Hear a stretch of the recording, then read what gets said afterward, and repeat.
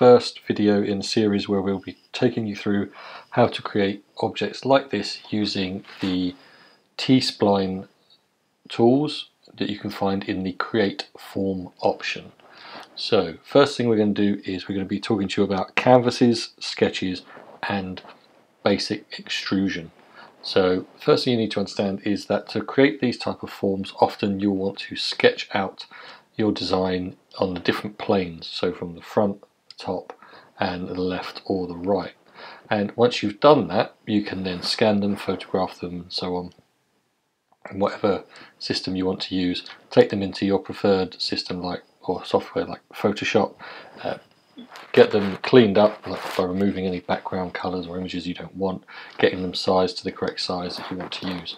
So let's create a new file and in here we want to add those images in. So you just go to insert and we call them canvases. So you choose canvas and you find where you want to get your image from. Now obviously you can take it from inside Fusion itself but most of the time you'll find that it'll be on your computer somewhere. So you can see this is inside a folder I've already set up and there's one which is the right hand side and one which is the front of this particular object, this sketch that I've got and be working on right now. So I open that up and then I choose which of the planes I want to put it on. So there you can see it's going to be on that plane. Now I'm not particularly worried at the moment about the size because this is just a demo, but if you wanted it to be a specific size, make it the correct size for the, the document that you want to use, and then you can always adjust that as you're working. So you can change the size here, change the scale, flip, and so on. But you can experiment with that on your own. For now, we're just going to put this onto this plane here and we've got that image as we can see now from the front. If we zoom in I can make it more transparent or opaque as I need to. But you can see now what I can do is use this as a basic shape for the little car design, little shell that we're going to be working on. We can also insert another one. Same process. This time we're going for the right hand side. So we're going to choose the plane which is here. Now if we want to move it forwards and backwards away from the origin point we can do but I'm just going to leave it there for now. So you can see over here we've got the two canvases. We can turn them on and off as we need to. Turn them all off if we need to. So there are your canvases. So the first thing we're going to do is to go into edit form. So we've got the shape we want go into edit form and you'll see you get all these different options. What you're doing here is using T-splines. They are just simple arc-like shapes that you'll then be transforming and editing into simple flat surfaces and then later on you can thicken those out when you go back into the Fusion document that you were using. So in here you're in the edit or the form part of the program and it'll give you a warning if you log in to a or if you open up a file and you go straight into there there'll be a little box down the bottom. But effectively what we're doing here is one step on this whole process down there. So you're not going to get a timeline showing you all the different actions you've done like you would in the other part of the program. You have to just use the um, control Z option to undo so sometimes you have to go back through a lot of steps or you just delete things and draw them out again one of the nice things about this particular part of the program is that you can do that. You can just delete stuff and draw it again. It's not actually that difficult. So we're going to start off by showing you how to create a sketch based on here. So we're going to get rid of this part here. We'll create a sketch for this rough shape. So create a sketch on that plane, zoom in, and we're going to take our spline and choose the one that works best for you. So let's just do this one. Go from this point here, this point here, and let's just say done. Now, it might be a straight line for now, but what I can do is to finish that sketch, click on here, sorry, go back in.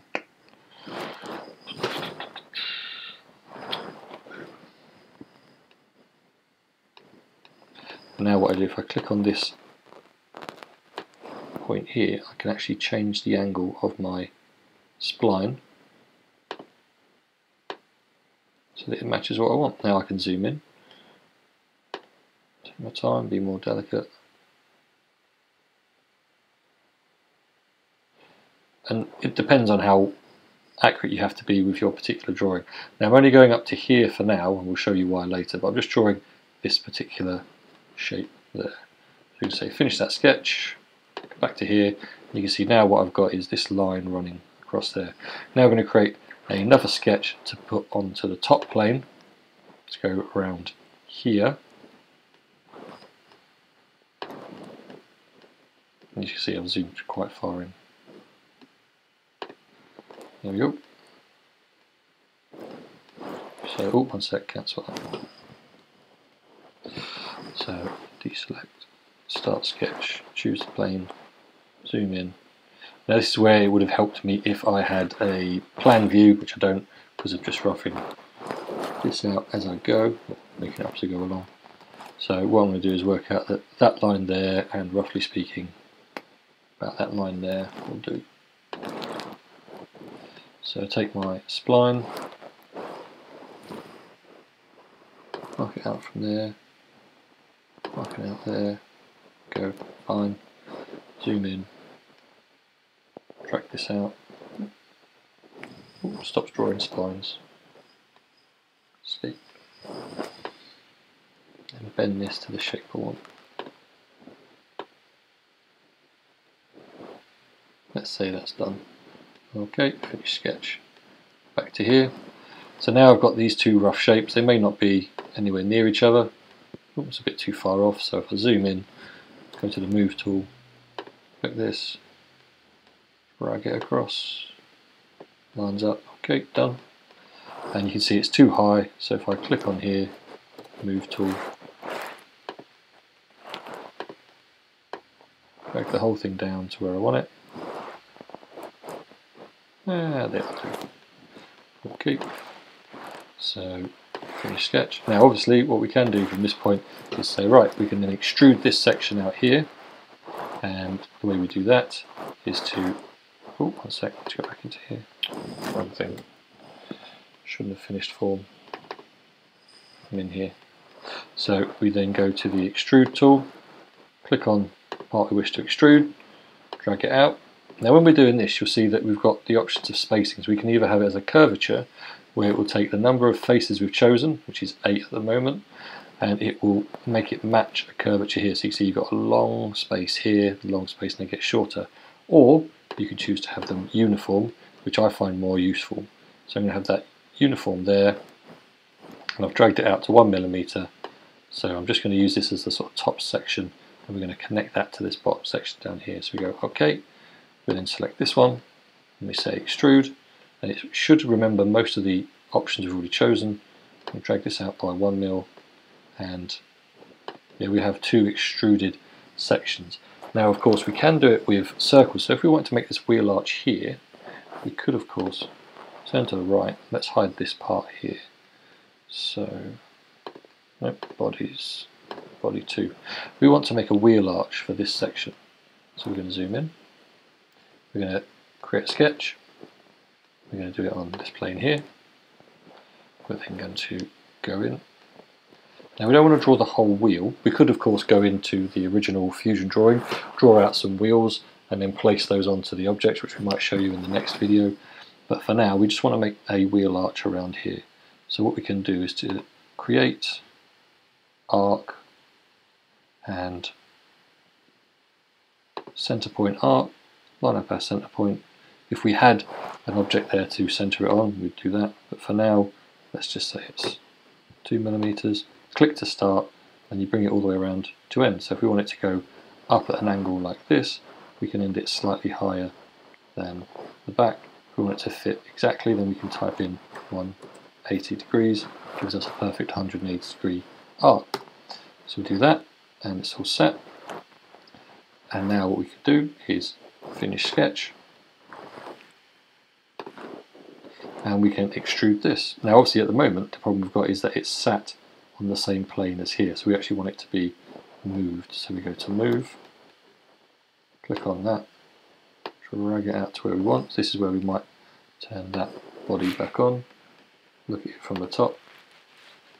Drag it to let's zoom in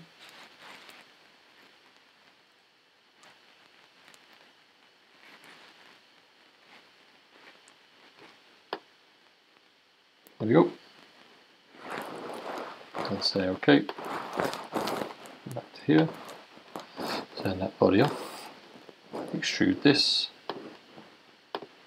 And now when we pull it out, it will create the arch that we can then connect to there.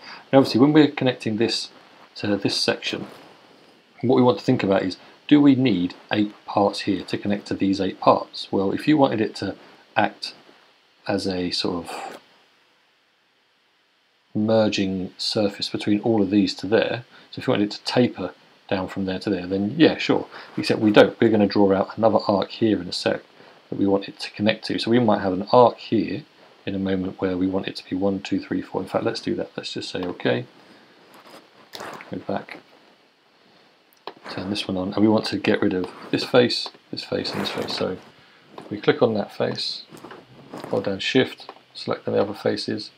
Let's just delete these from that body. So we've got one, two, three, four that line up with one, two, three, four. And now we want to make four of these that line up with the other four. So we get this sort of rounded shape here and this tapering conical-ish like shape there. So go back to here and we're going to extrude this out.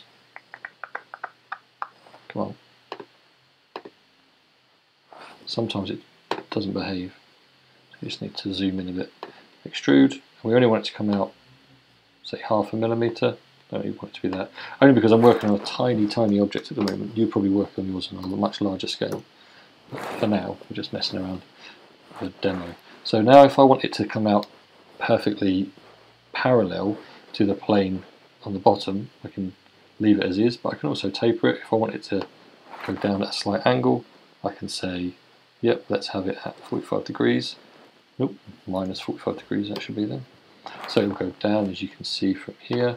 It now tapers down at this angle, or we can just leave it for now, go back to zero, and it sticks out So we're going to leave that there, except we need to change this to 4. So this goes 1, 2, 3, 4. And then we can connect them up in a later video. But for now, that's the basics of getting canvases into your file, going into the edit form option, drawing out some simple sketches and extruding those sketches to create some surfaces that we can then in later videos start to connect together.